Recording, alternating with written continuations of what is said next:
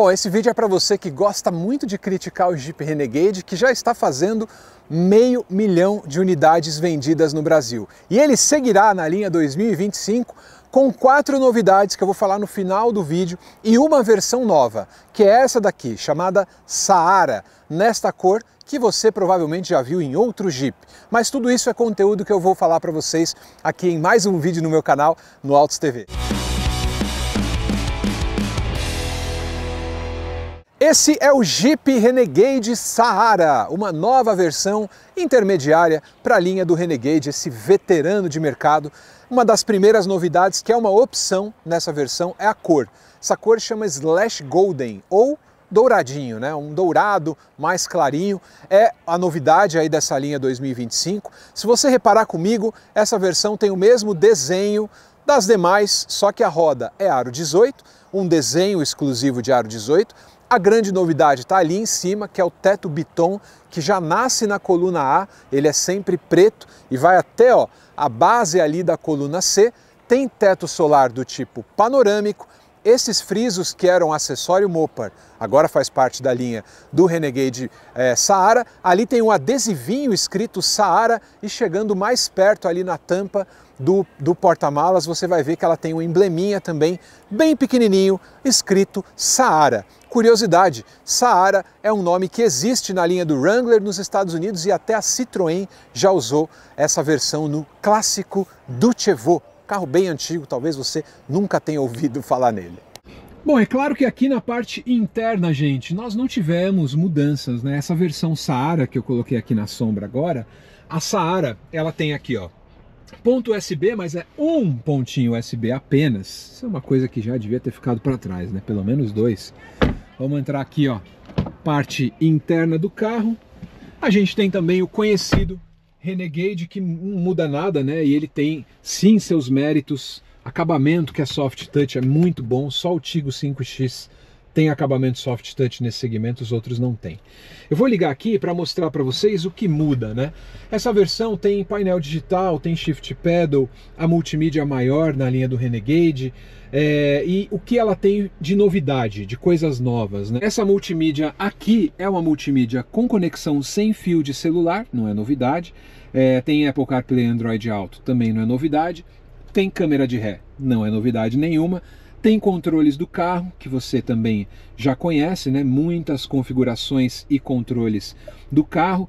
Tem os aplicativos, mas a versão Saara tem o Adventure Intelligence, né, que ele já tem o mapa offline e você tem vários controles do carro para você poder explorar a sua aventura. Eu acho isso bem legal e eles têm colocado cada vez mais é, no, nos carros, né? E a linha Saara, mesmo sendo intermediária, traz o Adventure Intelligence, que é bem legal. Agora, o que mais ele tem? Alguns itens de pacote ADAS. É, ele não tem ACC, né, não tem é, o controle de, de, distância do carro da frente, mas ele tem alerta de ponto cego, de frenagem, ele vem com um pacote bem completo já de airbags que é de série, então muitos itens do pacote ADAS são novidades aqui na linha do Saara. Não é só adesivo, não é só o teto, né, que não é pouca coisa, né?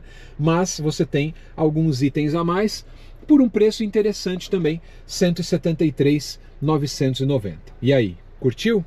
A outra novidade que ele tem, ele tem partida remota e a chave presencial, né? Então, quando você entra com o carro, já nessa versão é, vem na partida direto que você vai ter a chave presencial atuando. E ele também dá a partida remota em dias muito quentes. Eu acho legal pra caramba isso, porque a, a distância você já liga o carro, o ar já começa a funcionar, já resfria.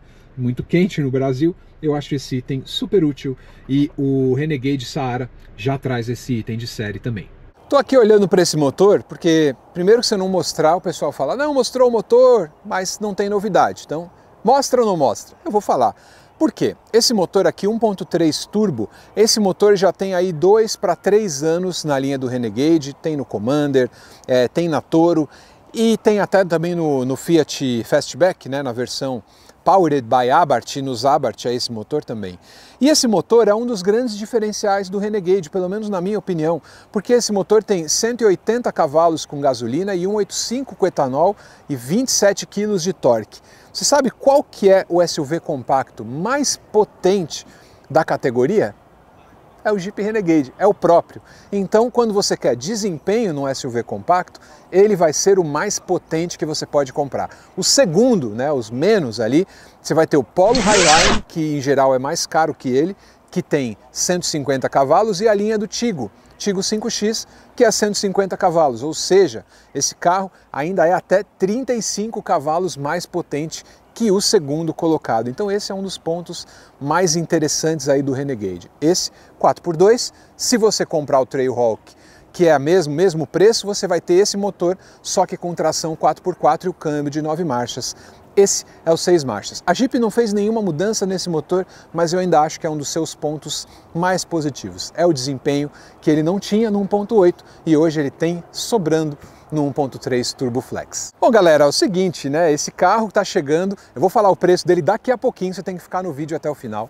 Mas agora eu quero pedir para você se inscrever no canal ativar a notificação, deixar um comentário se você gosta ou não gosta do Jeep Renegade, se ele vai sobreviver à concorrência dos chineses, afinal ele tem 18 concorrentes hoje em dia, não está nada fácil a vida dele. E como é um vídeo de lançamento, eu não vou fazer troféu joinha e não vou fazer troféu mendigão para vocês, tá? Esse vai ficar sem troféu. Vídeo de lançamento é só para apresentar o carro para vocês, falar de preços e versões, que é o que eu vou falar para vocês na sequência. Quanto custa um Jeep Renegade hoje em dia, essa versão e as outras versões da sequência, mas não deixa de se inscrever.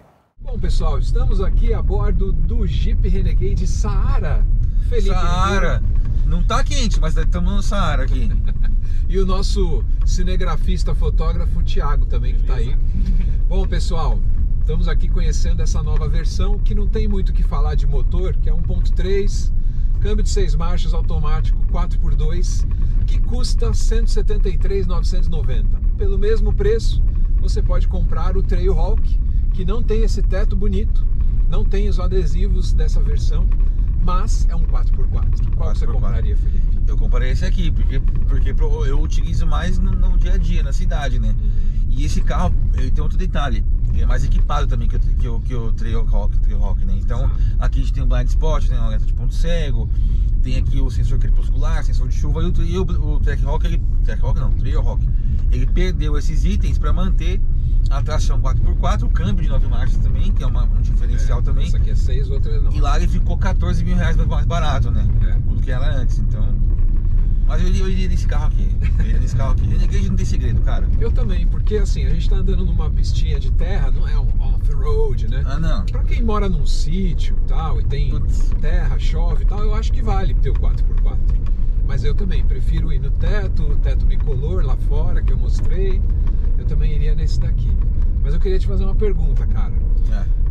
Vai ter vida longa o Renegade? Até onde que ele Cara, vai? ele já tem vida longa, né? É um carro de 2015, né? Ano que vem completam 10 anos de, de Renegade. Vamos fazer uma festa pra ele boa. Vamos, vamos fazer uma festa boa aí pra ele, né?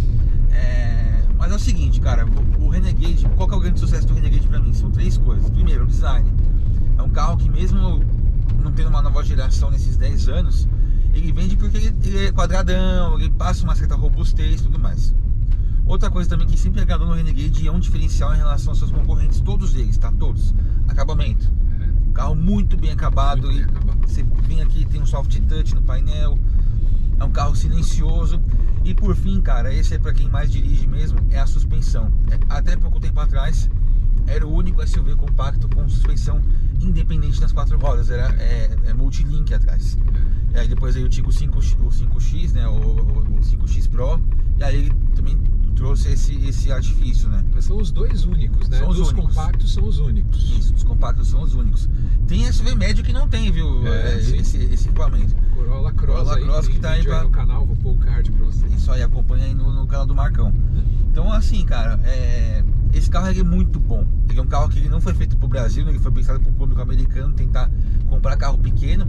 Então ele, ele tem, traz coisas premium, né? Coisas que é. americano gosta. E aí caiu na graça do povo, né, cara? Caiu mesmo. E eu já fiz até o vídeo aqui da experiência que eu tive do carro que ficou anos em casa, o Renegade vermelho. Vou pôr também aí para vocês olharem. O carro que ficou anos em casa e só manutenção era 1.8. Beberrão pra caramba, mas assim, um carro excelente. Não deu um problema, motor de corrente e tal. Esse é o 1.3 turbo que é novo ele continua bebendo, mas anda muito mais. Para quem quer potência também é o SUV compacto mais mais é, forte. De longe é o mais forte, né? o que, anda, né? anda melhor também. Ali, assim, o tempo de, de 0 a 100 parecido com o do o T-Cross Highline, né? Uhum. Mas aí no Highline lá, você, se você entrar no T-Cross e entrar no Renegade, você vai ver algumas diferenças, né? É. Mas enfim, são, são carros aí que são concorrentes, né? Exatamente. Mas eu gosto desse powertrain aqui, cara. Eles dizem que o Renegade fica ainda um bom tempo. A gente vai ter o Avenger no Brasil, que é a plataforma, outra plataforma, carro menor, né? Outra proposta.